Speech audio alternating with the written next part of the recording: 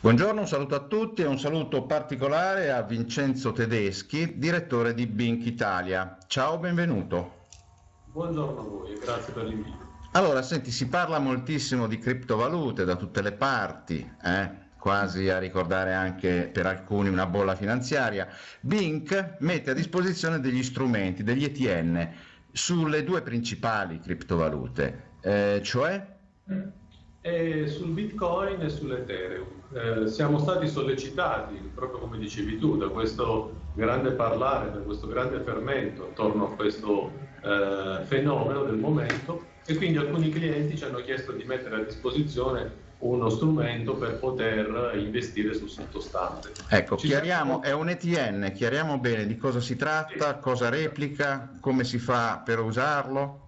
Certo, ci siamo mossi prima dell'estate, guardando appunto negli Stati Uniti principalmente per vedere se ci fosse un ETF che permettesse di investire su questi sottostanti. Però non lo abbiamo trovato perché lì appunto eh, ci avevano provato i due famosi gemelli di Facebook a emettere uno di questi strumenti, ma la SEC non lo ha permesso. E poi abbiamo individuato invece in Svezia, eh, in particolare sulla borsa eh, di Stoccolma, eh, che un emittente, una SGR, aveva già uno strumento a disposizione, un ETN, in questo caso si parla di ETN perché abbiamo come sottostante una valuta e non ETF certo. che di solito ha un portafoglio di titoli sì. azionari obbligazionari.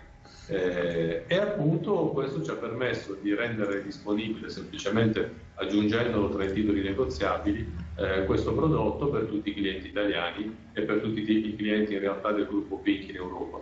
Ecco, il senti, quindi, quindi, no, prego, vai avanti. Il quindi... prodotto è stato sul mercato, quindi a, a Stoccolma eh, l'emittente ne ha creata una versione in euro e una versione in corone eh, svedesi, probabilmente perché per il mercato locale è più consono. Sono entrambi molto scambiati, quindi è possibile acquistarli sia in valuta locale che in euro. Eh, ecco. I nostri clienti privilegiano ovviamente operare su quello in euro.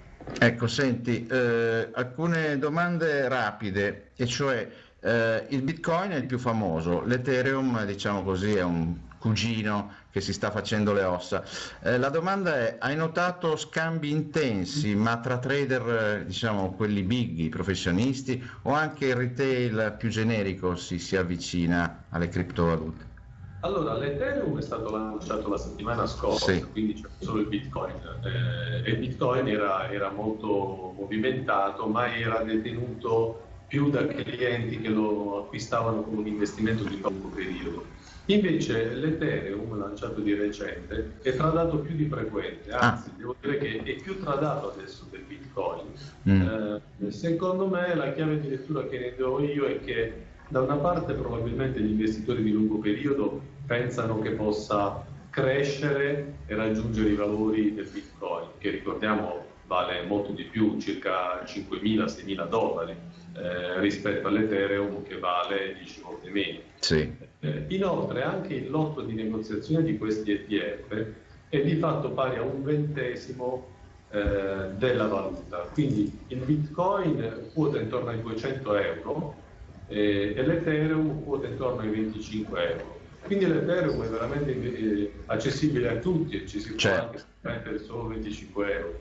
Ecco, senti, eh, d'accordo, eh, naturalmente chi a giugno no, ci ha creduto ha, ha, preso dei bei soldi, diciamo, se ha tenuto, se ha solamente cassettizzato sì, un po'. È, già duplicato rispetto a giugno che quotava intorno agli 80, credo 100 quando l'abbiamo lanciato. C'è Beh. da dire anche che il Bing offre la possibilità di andare anche short overnight mm. soprattutto sull'Ethereum con molti clienti stanno prendendo posizioni short, mm. quindi è che tutti guadagnano, è un, uno strumento molto volatile da prendere con le pizze. I mm. shortisti sono rimasti delusi.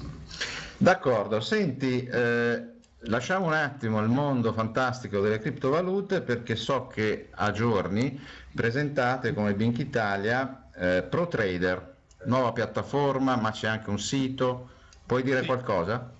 È in test già da alcuni mesi, però la lanciamo ufficialmente domani al Tollexpo nel Palazzo di Borsa Italiana ed è la nuova piattaforma che abbiamo disegnato per i trader più esperti. sostituirà l'attuale, la Scalper, eh, che abbiamo introdotto in Italia fin dall'inizio di Bing, quindi nel 2012, è diventata una tecnologia un po' datata. Questa nuova è stata sviluppata sempre a livello di browser based con la tecnologia React, che è la tecnologia che usa Facebook per sviluppare il suo portale. Quindi è una tecnologia molto fluida, semplice da programmare, anche molto reattiva per quanto riguarda eh, i contenuti dinamici, quali le quotazioni streaming oppure i book.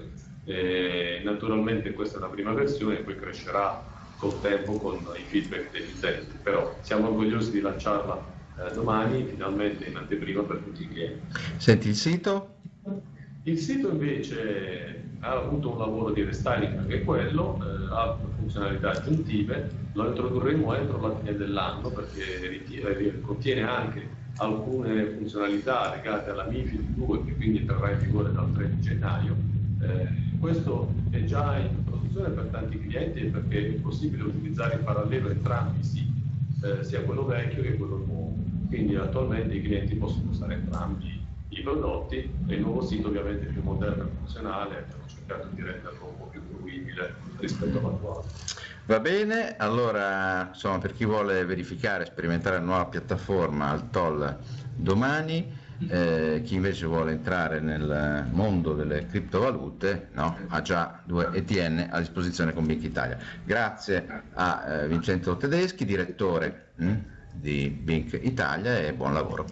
Grazie a voi, What